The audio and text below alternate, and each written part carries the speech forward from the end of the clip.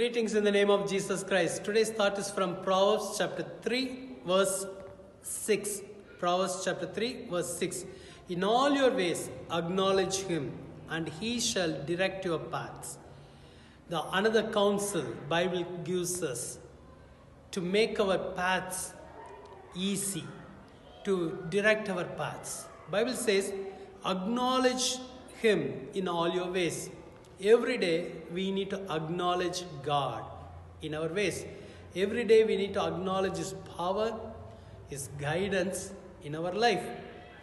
The Lord wants to direct your paths. God wants to lead you in the right path. Bible says the Lord will go before you and make every crooked path into straight.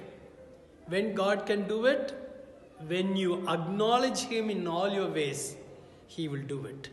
It's an easy way. Think about all His goodnesses, think about His miracles. He will direct your path. Lord wants to do a new thing in your life. All you need to do, just remember Him, remember His ways, remember His goodnesses, remember His miracles. Bible says we should not forget all His benefits. The Lord will bless you. The Lord will direct your path. Just acknowledge Him in all your ways. Shall we do out of prayer? Let's pray. Jesus, thank you for this wonderful day. Lord, help us to acknowledge you in all our ways, O God.